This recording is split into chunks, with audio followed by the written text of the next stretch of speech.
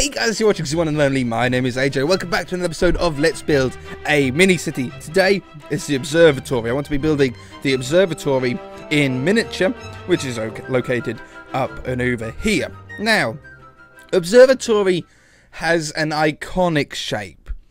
It it has the base and then has the telescope on top, usually uh, a dome. Now, first problems first is that I nearly fell. In Minecraft, we don't have domes, especially not on a tiny scale. We don't really have them on a big scale, but definitely not on a small scale. So, player heads skull will work. Now, there's some skulls that we've already used, there's some skulls that we haven't used. Dragon skull could be quite interesting because we could make. Hello? We could make the nose of it look like the telescope section but I don't think so. For one, I don't think it would actually really look that good. Number two, I think I need to retexture the dragon to do that, and I don't know. Like, I think if I opened up the dragon in Photoshop, it would be a complete mess to me. So, we're going to grab a normal skull. Wither skeleton skull, absolutely perfect. We've got like a few skulls left to go. Uh, but yeah, we can retexture that to look like a little miniature telescope. But it's got to go on top of a building.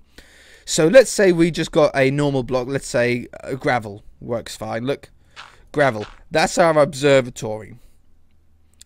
But imagine all of the side. If we texture up the sides to look like our observatory, as we all know, the top will also take that face.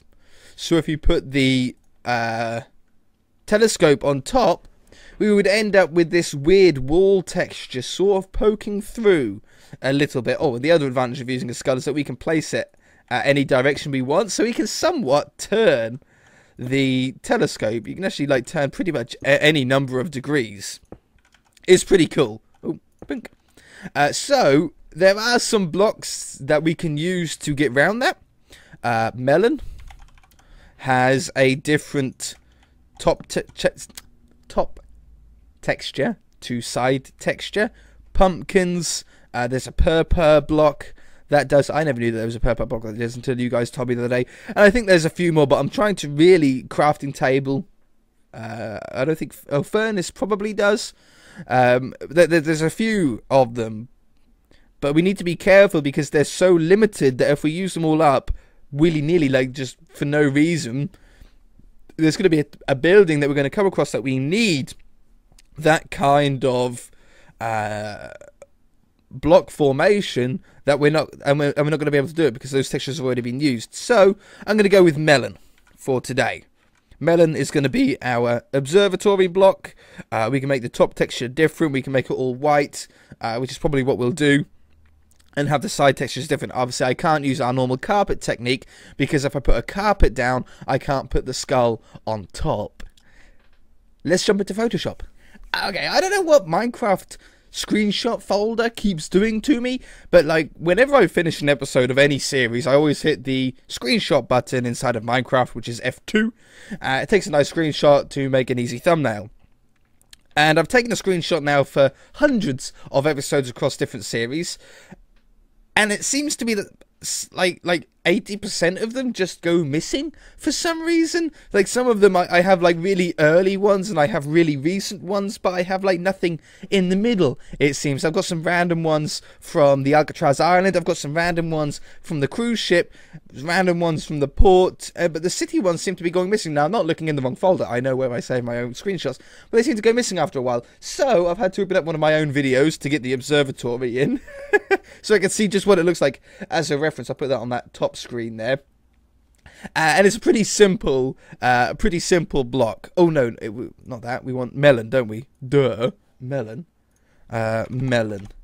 Now melon has the top texture and the side texture. We're going to work on the side texture first, and it's a pretty simple one. We need a, a, yellowy cream, which we're pretty close to already, but I want it more on the yellow side uh, than what we've had previously on previous blocks and we want to fill all that perfect. That's like an exact sandstone color. That is sandstone right there. Uh, and then what we want to have is we want to have a white. And I don't want to put the white right at the top because... Or, or do I? Now that could work. If we have one line of white at the top, because the top section is all going to be white anyway. So we have that. That'll look at like the texture has just folded over onto the side of this block just a little bit. I think that's going to really work. And then what we want is the wall textures. Now, the way that we done the observatory is we made like pillars that go all the way around. Pillars that are sort of half in the wall and half not. Very easy for us to do. All we've got to do is grab a darker one for the darker sides of our pillars. Flip that round.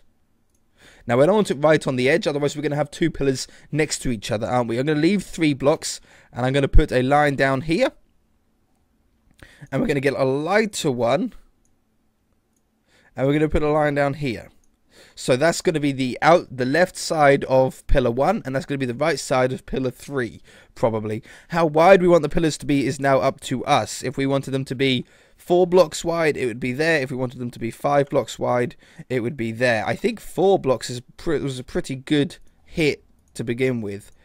So there's two pillars in there. We'll make the middle texture in between them both. So it won't be the same as this one. So you want just an in-between one, more on the yellow scale than the grey scale. Perfect, look at that. So that goes in there. That just gives us a real popped out section. It looks like that part is raised out further than the rest, which is exactly what we want from pillars. Now, with it being an odd, uh, an even number, it means it's going to go brilliantly in the middle. And now we've got ourselves three pillars. However, what I want to do is I want to put a split down the center of our uh, building. So it's not all one giant long pillar. I want to have a little bit of a split in here. So I've put a nice darker grey on there. I want to have the same thing here. So we'll have the darker one and the lighter one. Is that white? That's not white, is it? That's yeah, it's just off white. It's a lovely colour. Alright, so now we've put a split in it, it looks a little bit weird again. What we need to do is we need to have some shading along the tops. So we're going to grab this darker one. And to put this darker one along here. And along here. And then we're going to get this middle one to go along here and along here. Now that way it's actually split up so it looks like two separate layers. It doesn't look like we've put a line straight through the middle now, does it? Maybe we could do the same thing as what we just done, but with the lighter one at the bottom. So we have it like this. Oops. At the bottom. Now this is a little bit off what the real observatory looks like.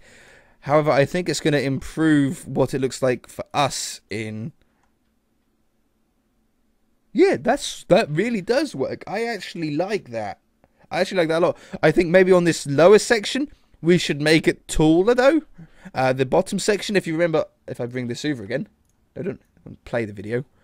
Um, we we have this section here, which is like the split down the middle, and then we have that little part above it. I know it's very hard for you guys to see, but I'll show you anyway. At the bottom here, we have this cobblestone, and then the door's up a little bit. So we want the cobblestone across the bottom, which means we are going to have to maybe lift all of this up would be a good idea. We'll have three blocks of cobblestone underneath the bottom. That now makes the top section smaller than the bottom section, which I think I like more. I could reduce it more, but I don't think I need to. We'll grab a grey, a little bit darker grey for our base cobble colour. Like so. And then we'll get a darker one. And what I think we can do here is not checker pattern it, but random dot. Oop, that's not random. There we go. Random dot darker ones and lighter ones.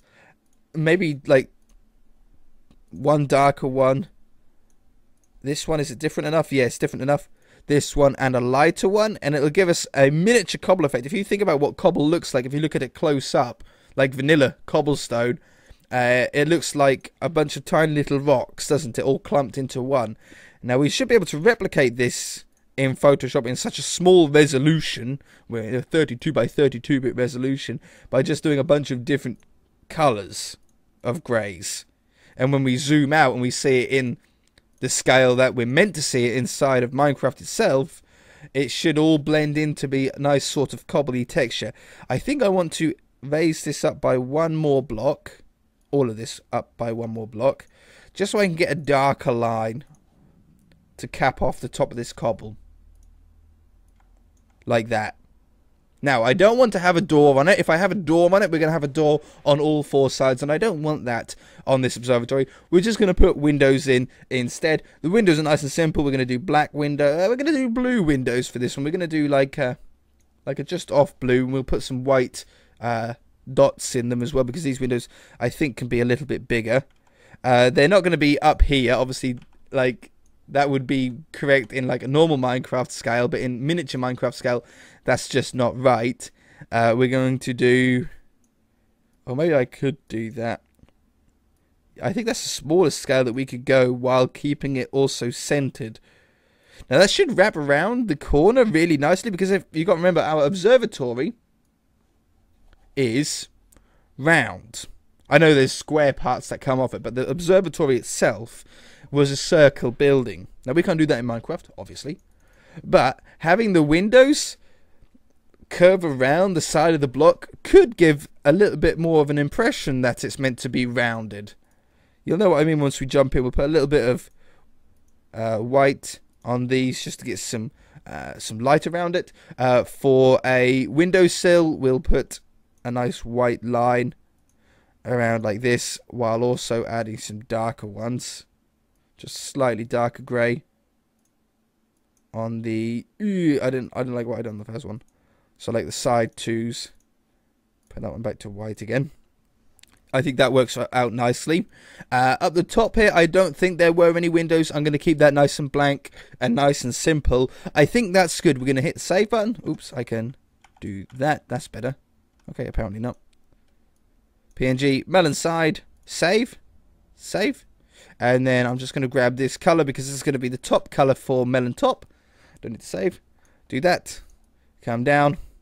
Fill it all in with one color. Nice and simple. Boom. And that's melon top. Finished. So that should be the observatory building itself done. Now we need to go into skull. Skull. Uh, and it was a wither. No, I don't need to go into skull. I need to go to wither wither skeleton. Yeah, not the wither. Uh, so this is our wither skeleton. And obviously, this is the head. This is the part that we're most important. We're most interested in over here. This is what's going to change the skull texture. Front, top, left, right, back, bottom. Don't need to worry about the bottom. We're never going to be looking underneath it, so that can stay how it is. Uh, I've still got the same color selected. So what we're going to do is just put a straight, oops, not over, don't go over. I don't know what would happen if you went over. I, I don't know if it would poke out in certain areas or, or, or what. Uh, now where is, no, you know what I'm going to do? I'm going to, no, we should be okay. We should, we should be fine. I just want to know where it splits off, but I don't think we need to worry about where it splits off. I don't want to put any sh real shading on the corners of each face of the block. So I don't, for example, I don't want a darker line. I'm just doing it really dark so you can see. I don't want a darker line that goes down here and down that way on each one because that would make it look square. We don't want it to look square. What we can do is we can make a darker along the bottom but not the top. If we do darker along the top, we're going to be able to see it. Darker along the bottom really doesn't matter. Uh, I think I can just copy and paste that and then I'm not I'm, I know I'm not going over some random spot then. So Let's get a slightly darker, just slightly darker grey to whiz along the bottom here. Like that. It won't be seen all that much, but it will just have a slight uh, raised feeling. Like that. Now, the observatory hole itself, we want to try and get the effect that it's open with a little telescope and a little black slit down the middle as if it was like a, a voided area, you know, as if it's a dark area in there. So let's get ourselves a black to begin with. And these heads are even numbers, correct? One, two, three, four, one, two, three, four. Yes, these heads are even numbered, so we need the slit in the observatory to be at least two blocks wide. I think four Would it be too thick to have four? Or would it be right to have four? I think it's right to have four. And we want this to go over the top and the front. So it's going to go over the top of them both uh, to make it look like uh, it's sort of split all the way down. I want to come down, I think, to about there. And I think I'm about right on the height. I think maybe I've gone down one pixel too much, though. Something like that. For the telescope itself, it's a pretty simple one. We're just going to grab ourselves a grey. And we can put it at whatever height we want. I'm going to do it at this height. That height would mean it was on the top. Or...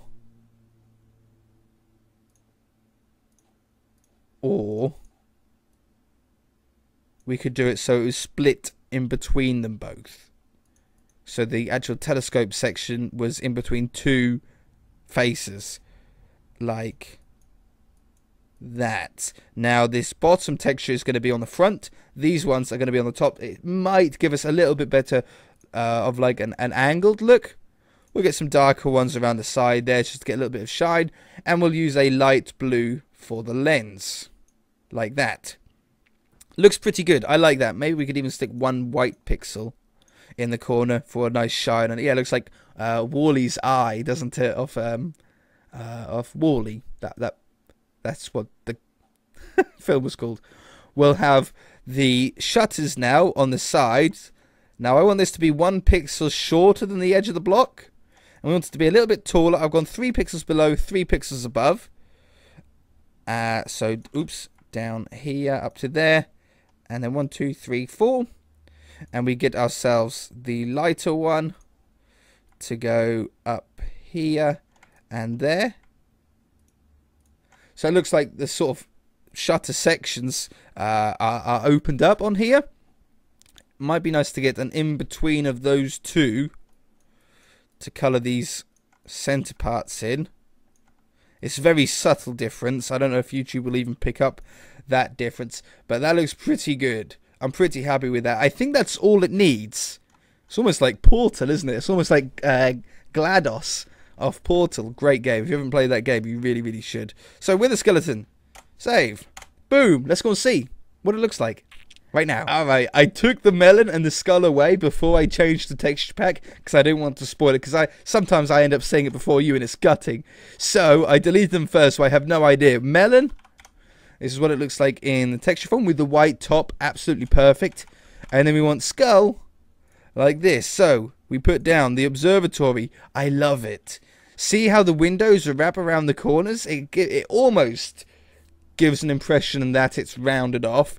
The cobblestone texture has really worked at the bottom as well. I really like that. And now the most important part. Yes! Look at that. So there's our little slits on it with the little telescope sticking out the top. Oh, yeah. That's so cool. That works really well. I know it's not perfect. I know we can't get a dome or anything like that. That's as close to a dome as you can get this scale. Uh, it goes smaller, which is exactly what we want. We've got the little shutters on either side. We've got the telescope sticking out. I'm really glad I put a little white dot on there. That really worked well. I'm so chuffed about that.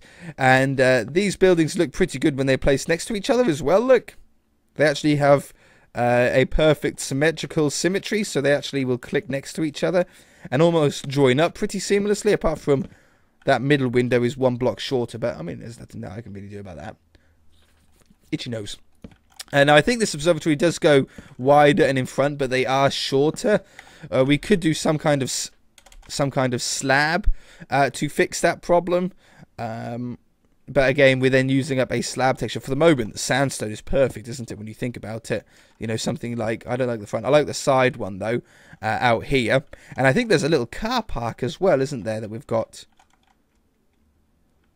that goes up and into here. I don't know if it's it's about that size. I don't know if it takes up them both. It might take up them both. It's going to be a university eventually. At the moment, we've only got the observatory and I think one little extension building. Uh, but eventually I want something... Oops. Something that would look like this in the real in the real city. That's the sort of shape that I want to have, and then have this is all like a pathway and nice trees and stuff like that around there with a little bit of a car park. I think that works really well. Saplings, uh, spruce trees and oak trees and string. Just to dress up the area around here. String, string, string, string. Uh, oak, string. That one, that one, that one. I think actually more trees than what we have around this observatory already uh, in, in, in, in the real city. I want to add, I keep saying I want to add trees around here, but I just haven't got around to it. I don't like the one blocking the front. I like the one diagonally from it, but I don't like the one blocking the front.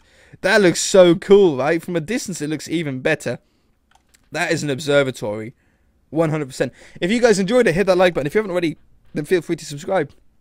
We shall see you after I stop hiccuping in the next episode.